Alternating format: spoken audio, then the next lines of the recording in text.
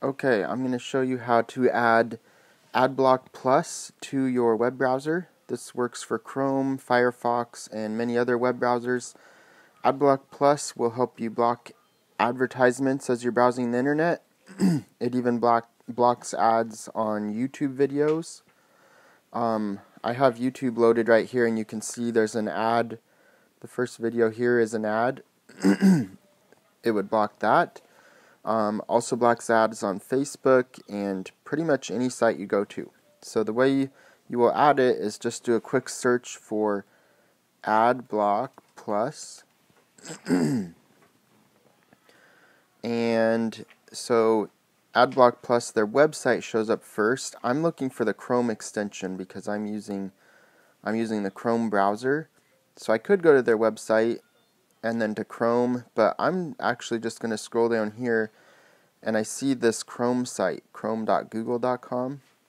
I'm going to go to that one so that I'm right on the Chrome extension site. And then I just hit add to Chrome and then say add extension and give it a minute. And now it's installed.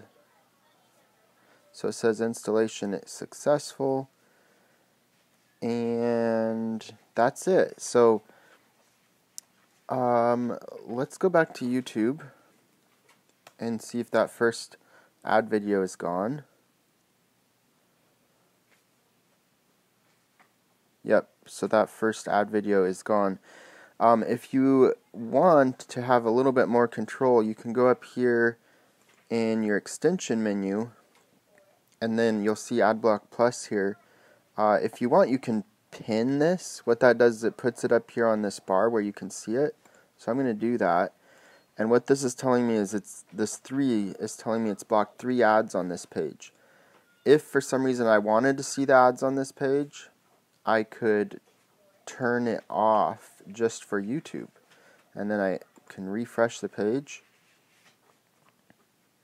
And now you see that ad is back.